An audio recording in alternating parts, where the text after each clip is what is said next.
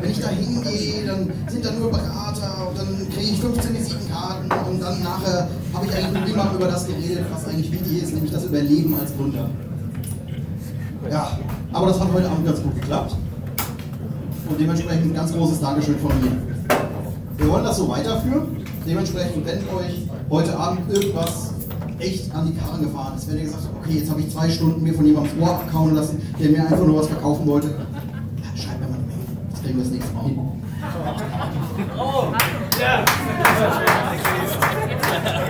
Gut. Ähm, den Punkt. Ja, ja, wir veranstalten dann einen Pranger.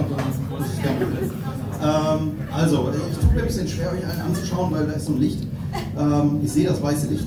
Es geht darum, wir haben in der Gründerszene in Frankfurt jetzt schon einiges bewegt. Es gab tolle Veranstaltungen und es gibt jetzt unter der ganz tollen Domain gründerab.de einen Eventkalender. Da seht ihr jeden Quatsch, den es in Frankfurt zum Thema Gründung gibt. Also seht ihr wirklich jede Veranstaltung und dann fällt euch plötzlich auf, hey Moment, es ist nicht nur Berlin, in dem jeden Abend irgendwas passiert, bei uns auch. Du kannst jeden Abend irgendwo hingehen. Die ganze Woche, jeden Tag ist irgendwas. Ich war richtig stunned, als ich das erstmal so vor mir gesehen habe.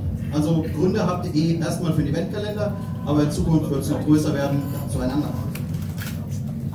Für uns wichtig heute Abend ähm, ist, dass wir nochmal beweisen, die Gründerszene in Frankfurt ist groß, existiert. Das haben wir getan. Jetzt hat die Gründerszene ein Zuhause. Ich möchte, möchte euch ein paar von hier häufiger treffen im Service, auch wenn wir mal nichts veranstalten. Ganz einfach, damit man weiß, okay, da haben wir eine Abend, haben wir eine Location, da gehen wir hin, da ist immer jemand da. Das ist mir ganz wichtig und ich denke, das ist für das Ökosystem Gründer, Gründerszene Rhein-Main sehr wichtig. Und ich denke, das werden wir auch hinkriegen. Vor allem, die Location ist für uns kostenlos. Ich habe nicht bezahlt, um diese veranstalten zu können, deswegen nochmal bitte einen ganz großen Applaus an Mike.